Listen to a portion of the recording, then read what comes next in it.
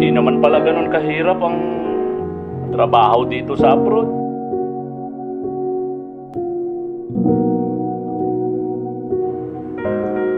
Sa katunayan, astig si tatay dito.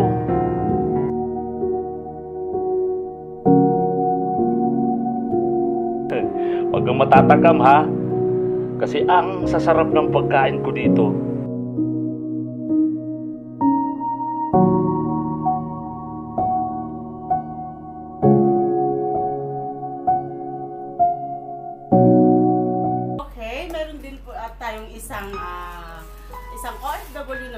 Mag-share ng kanyang life bilang, bilang ah, isang OFW dito sa Macau. So, ano pong pangalan niyo ate? I'm Sherry Cherry Escobar. Escobar. So, ah, ilang taon ka na pong OFW Three years na. dito sa Macau? Ano? Yes. So, sa ibang bansa? Mayroon? Uh, Taiwan, before, two years naman doon. Two years naman. So, ano naman pong buhay dito sa Taiwan? Uh, before, factory worker ako. Wow. Oh, bagong ano ko to, bagong isang ah, OFW na sa factory siya nagtatrabaho. So, ano naman po karanasan mo sa factory bilang ah, OFW sa Taiwan?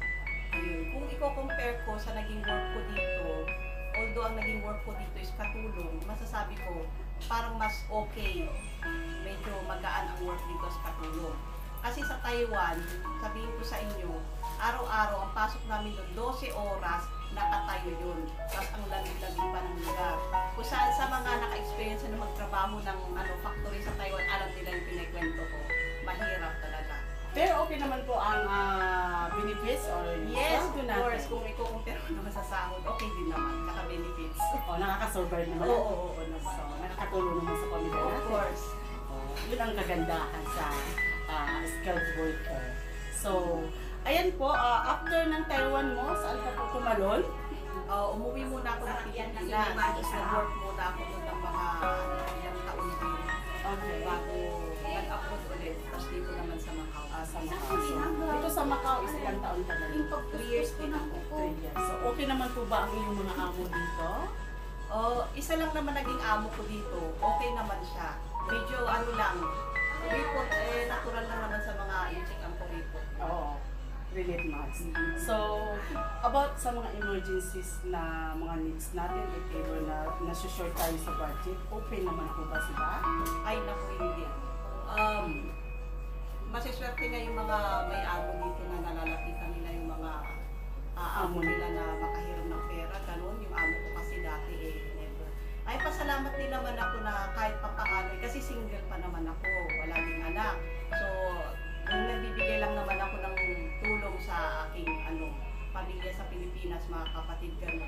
So, hindi naman ako gaano nasushoot. So, kahit na ganun ako dito yung mga amo ko, kahit naman papaano eh, hindi ko sila nahingan din ng tulong. Oh, single to ha, single. Single is ready to mingle. Charot! So, ganito po ano, yan lang po ang kagandahan sa isang uh, OFW na single na wala po talaga pa silang uh, binubuhay. Kumbaga, sarili lang nila. At saka, means, uh, sister, as a three, as a three years, five years OFW. So, mayroon na po tayo dyan na ipipon. Oo naman, meron ako naipon. Anong mga napundar natin? Halimbawa? Experience. Experience! Yes, kaya ako dyan. Experience! Ano mga experience na yan? I'm so excited to hear your experience. Um, pa na-experience ko kung paano bumaba ang pasensya. yes? Kasi dati, sa totoo lang, kasi pasensya ko. Dito sa ibang bansa, nasubok ang pasensya ko. Yes. Hindi po tayo isang OFW. Na sinasabi ko sa inyo lagi na hindi ka isang OFW pag wala kang baon na isang sakong pasensya, isang sakong pagtitiis, at isang sakong sakripisyo. Yun po ang ah, isang buhay ng isang OFW. So, kaya po ano, ah, sister, ah, ikaw po ay napakalaki kasi sa edad mong ito ngayon ay still single pa rin. So, wow! Sana all! single! So, Sana nilang so very lucky ang magiging ah, future nito ano yung yung lucky sa buhay niya magiging lucky sa kanya so oh charot oh syempre naman oh di ba kaya mga guys ha single but ah mag ah syempre kailangan din naman yung ah, mayroon din namang trabaho yung pair na ipipay sa kanya. Syempre, hindi naman kailangan na porkit siya may trabaho eh ah, maghahanap siya ng ah, bubuhay sa kanya. No, siya yung bubuhay. No, no, no. Dapat kami mga babae ang bubuhayin ng isang lalaki. O, di ba? Kasi ang hirap naman kung kami ang bubuhay sa inyo. Oh my gosh. so, ayan po ano. So, oy, mayroon akong naisip na tanong. As a single, ah, napaka-personal itong tanong. Pwede mo kaya okay lang. Baka kaya ko sa Did you have some with boyfriends already? Ah, wala. What? As in? Wow, sa ganda mo niya, see? Sa ganda niya, walang boyfriend. Oh my God. Siguro pihikan to. Pihikan ka. Ah, sabi nila, pero hindi ko kasi nakikita sarili ko eh.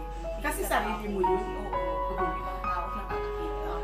Pero ano naman po ang katingin ng isang lalaki na halimbawa yung gusto mo na swak sa iyo?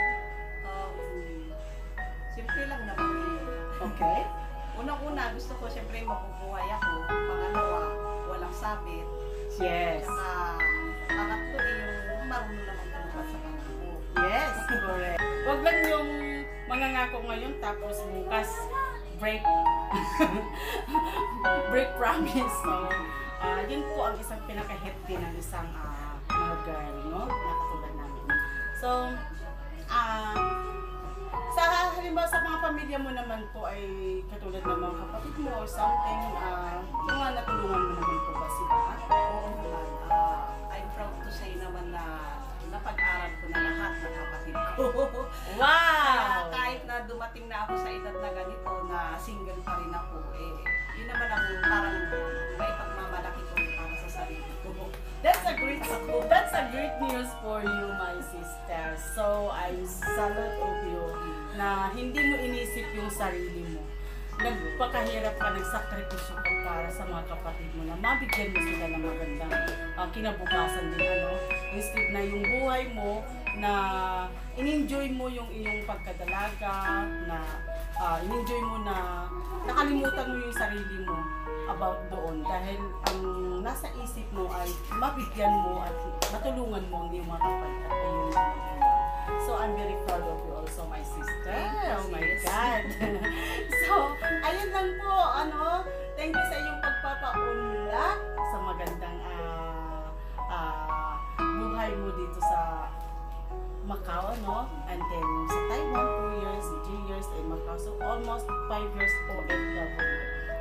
ayan po ang kanyang naging ah, investment. Ang nakapagpatapos siya ng kanyang mga kapatid. O, di ba? At saka syempre, very proud ang magulang niya dahil ah, invest na yung kat, ah, ah, papel ng isang magulang ay kanyang itinayo para masuportahan ng kanyang mga kapatid at nakapagtapos na rin sila. Still now, still now she's single. Dahil nakalimutan niya na mag-asawa. Nakalimutan sa sarili niya. Sa ganda niya na, sa ganda niya, I, I recommended you. Ay, sa ganda niya, I recommended you. Ayan na, napaka, hindi naman gaanong ah, malungkot ang buhay nito bilang single. Happy pa rin naman siya. Of course, um, Yes. marami pa rin naman ako mga barkada, mga kaibigan na may mga same interest na kagaya ko. Oy, pero sister, mas iba yung life nang mayroon kang uh, umi-in love, yung tibok-tibok yung puso. Iba, iba yun, yung parang may kilig, di ba? Kasi kahit ah, OFW ka tapos eh, meron nagpapatibok na yung puso. Parang bumibilis ang bu ang araw natin. Araw-araw nawawala yung stress natin. nawawala yung ano natin, yung stress natin sa mga amo namin. Pagka ganyan. So, Ayan, for the last question, no, my sister, um, bilang isang OFW, ano po ba yung pinaka-worst na karanasan mo na naging malungkot sa buhay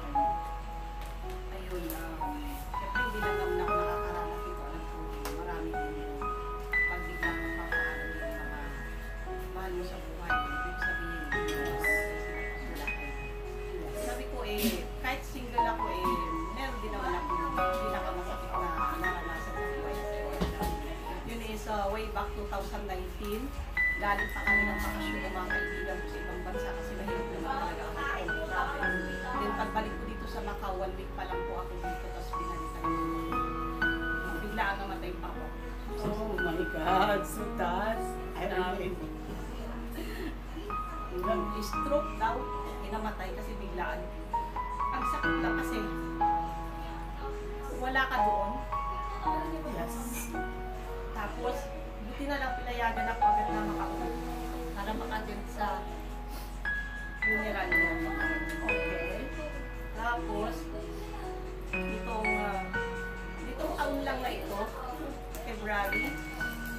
Nataon din naman na kasagsagan kasi ng COVID. Mahirap kasi umuwi from Macau to Philippines. Mahirap talaga kasi umuwi dito sa Macau papunta Pilipinas. Pinalita naman na namatay yung lola ko. Nakatandaan naman yun yung lola ko na inuwi ko na rin na pangalawang ina. Yes. Tapos, sumunod naman, the following month, March, yung lolo ko naman. Oh my God, grabe. Kaya gusto ko man sanang umuwi, pero wala din naman akong magawa. Kasi pahirapan ngayon ang umuwi. Libo-libo ngayon din ang mga stranded na Pilipino dito sa Macau. Nakatila lang din naman kami sa consulate para nag-aantay ng tawag ng umuwi. Yes. So para sa akin, yun yung pinakamasakit na naranasan ko bilang OFW. Hindi lang naman ako yung nakakarating. Marami din, lalo na ngayong panahon na ito na nasingit pa ang COVID na hindi agad-agad nakakauwi. Yes. na relate din ako doon sa story ni sister ano kasi last uh, way back din namatay din yung father ko pero wala pa noon yung time na COVID so nung namatay si father noon is nagpaalam ako na umuwi ako at uh, kahit pa paano naman yung amo ko ay meron ng uh, ginunto ang puso noon kasi bago-bago pa lang ako sa kanila so pinayagan nila akong umuwi kahit 4 days lang 4 days lang so ah yung 4 days na yan, in-spend ko doon sa father ko din. After 4 days, bumalik ulit ako dito sa kanya. Yun yung pinaka ah, masaklap din na kahit pa paano. Yung nasasabi ko dahil nakauwi kami.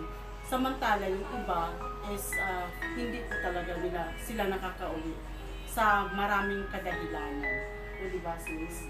Oh, so ngayon po sa kanyang case, ano, hindi siya nakauwi dahil sa dumating pa ang point na sa pandemic sa buong mundo. So, talagang mahirap. Kahit anong gawin mo, hindi hindi talaga tayo makakauwi basta-basta.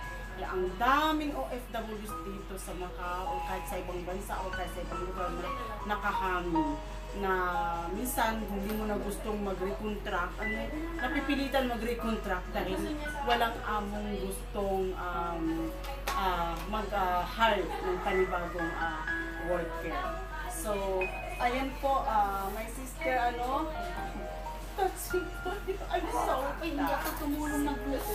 Grabe, yun din ang hirap, no? So, sige lang, tuloy lang ang buhay bilang ako. Laban. Maingay, maingay. Laban! Laban, Laban lang. Laban lang. Terry Escobedo, ang ating ah, pangalawang OFW nag-share ng ating ah, buhay. So, thank you so much, Miss Terry. So, it's my pleasure to have you in my interview. So, thank you, thank you so much. God bless you.